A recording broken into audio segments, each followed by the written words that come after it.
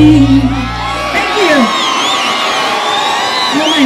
धेरै धेरै धन्यवाद होइन यहाँ यतापट्टिको हाम्रो मोनोहरूले होइन सिरियसली नै लिनु भइरहेछ है यो बार भत्काउने भनेको मैले रमाइलो गर्ने भनेको है यहाँ हेर्नुहोस् त